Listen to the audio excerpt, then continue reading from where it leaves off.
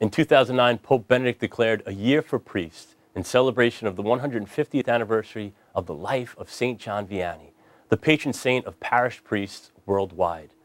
The Year for Priests was an opportunity to strengthen and renew the commitment of all priests as primary witnesses to the gospel in today's world. Our guest today has been showing his commitment to his faith, church, and parishioners for over 40 years.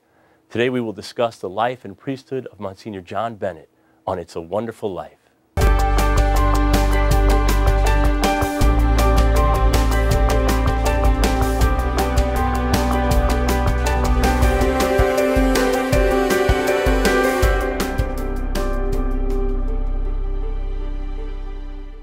And welcome back to It's a Wonderful Life. We are joined today by the pastor of St. Patrick's in Huntington, Monsignor John Bennett. Monsignor, um, one of the questions I want to ask you, coming with a little bit more maturity in the priesthood, is if you would look back to your experience in the seminary, what was it like at that time? Um, we were about 30 in my class at the time. Eight of us came from other situations. So I was not, I am not a lifer uh, prep seminary. I went to Fairfield University in Connecticut and joined, uh, was accepted by the diocese and then into First Theology. Um, felt very welcome. Uh, and, you know, I think I had the best of the new and the best of the old in that era. I went to the seminary in 67. Okay. Um, Jim Coffey was rector then. Uh, he had the genius of bringing the best of the traditions of priestly formation that was centuries old into the post-Vatican II environment that we're in now. Uh, very mundanely, it was the first year you could visit another student's room. It was the first year you could have a radio in your room. um, by the first year, we, those who wished and could afford it had cars. But I think more importantly, the pastoral work that is so much a part and so important a part of seminary formation was being introduced. Um, we taught religious education. We had some experience in hospital work. Deacons went out into parishes, if only for the weekend. By the time I was a deacon, we spent a little more time in the parishes. Years later came the pastoral year, which right. for 30 years has been such a, a, a wonderful asset in our life. Uh, Coffey also had the job of explaining it to Walter Kellenberg and Brian McIntaggart, which he, he himself even told us wasn't always easy, but you know, he seemed to know what he was doing. He had the faculty very strongly behind him, and I think we're better for the experience. So you would be truly one of those those new Vatican II priests what was it like coming into the parish, like even introducing uh, like the transition of Vatican II? Well, we thought we had all the answers, and we didn't, and we don't now. Uh, in my early experience in Holy Name of Mary and Valley Stream, I think people were very responsive as it was explained well to them. Um, lectors, Eucharistic ministers. I was in Valley Stream when, in Bishop McGann's early years, we started Eucharistic ministers. Originally, communion for the sick. Okay. Because at that time there were sufficient priests for communion help, but very quickly Eucharistic ministers came on board for Mass, and such a very welcome thing. Uh, there were a lot of workshops, lectures, outside speakers, bringing the message of Vatican II, the spirit of Vatican II, to our people, and good numbers of people took advantage of it. One memory I have is we used the Brusselmans program, now I'm dating myself, for second grade. And there was strong parental involvement. Right. It became more than just helping to prepare parents of their children for First Communion, but it became a wonderful opportunity for those parents to renew their sense of their life as church, to, you know, rekindle their faith that maybe for whatever reason had become a bit dormant. So much you see in some of the documents that term the domestic church being the family. And so that was, was, you're saying that it was really enhanced at that time or encouraged? Incredibly so. And I still I think we're still reaping the fruits of that. Awesome. You know, those first communicants are now parents themselves. Right. Right. and I think we're still seeing some of the blessings of that in all of our parishes in so many ways. Huntington, for example, we had a ministry fair in the fall There are 60 active ministries.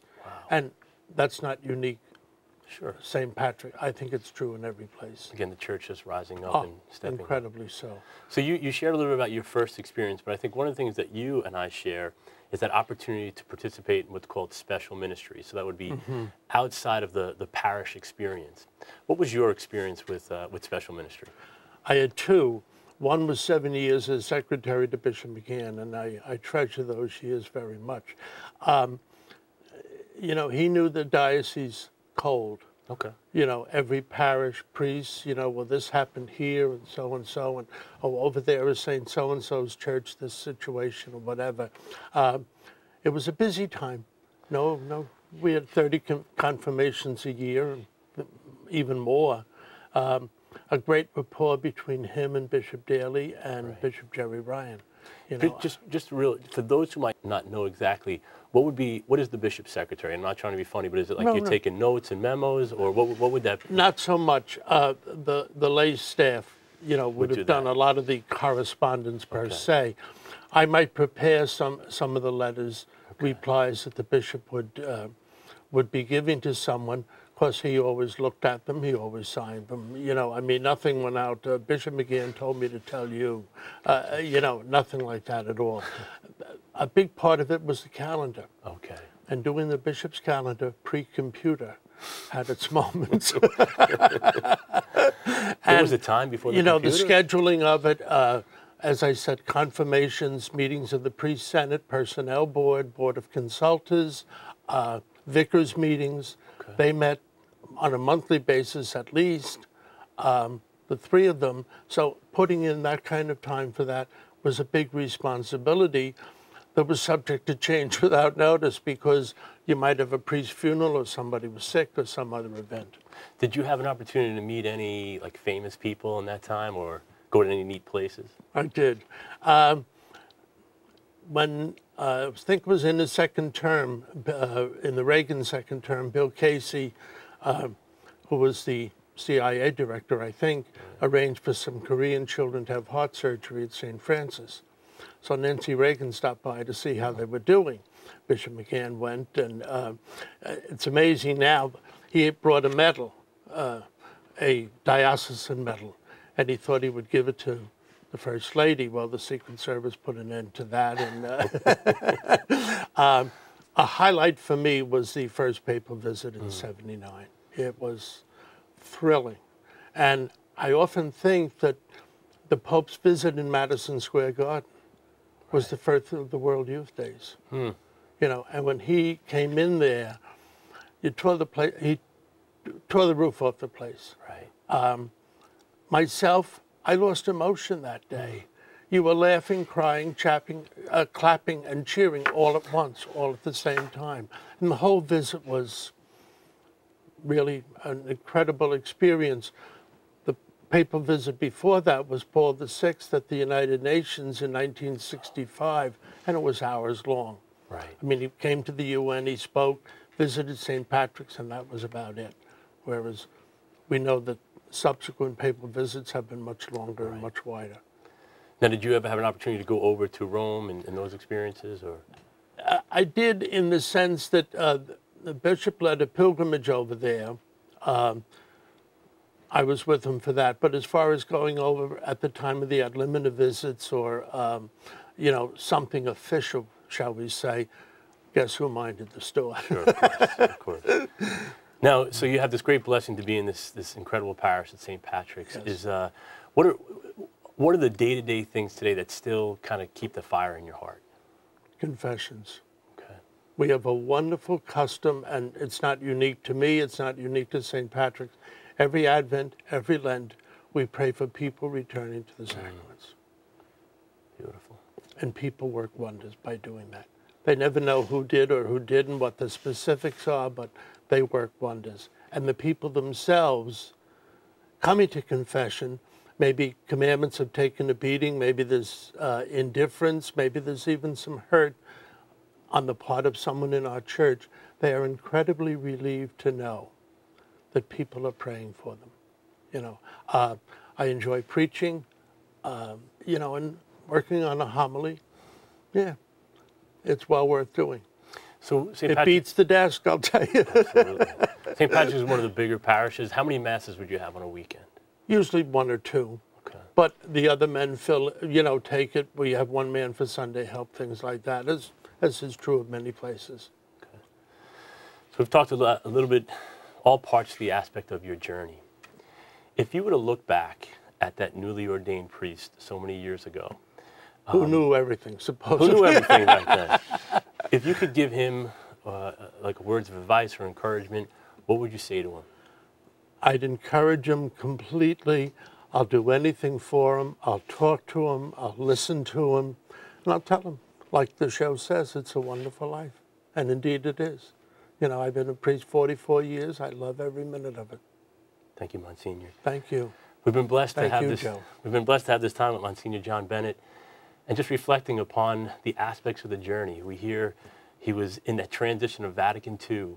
He was a bishop secretary. He's been a pastor of two beautiful parishes, and just his life has reflected exactly what he said.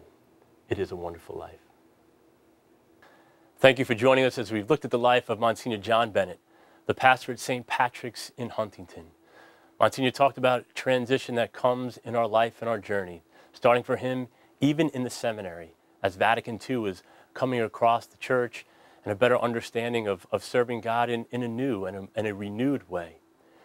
Transition is constant throughout the priestly life. Right now in, in the seminary, we have 31 men studying for the priesthood. We have guys in Rome, guys in Boston, men in, in Yonkers, in the Bronx. We have men as well in Queens and soon to be in Washington, D.C. They've been called by the bishop to go because God is leading them, to open their hearts in a more and profound way, to embrace, yes, the joys and even the difficult times. As always, I ask for your prayers for these courageous men, men who have opened their hearts to say yes. Yes, Lord, I will go where you lead me. We turn to Mary, the mother of the church, Mary, the mother of priests, and the mother of seminarians.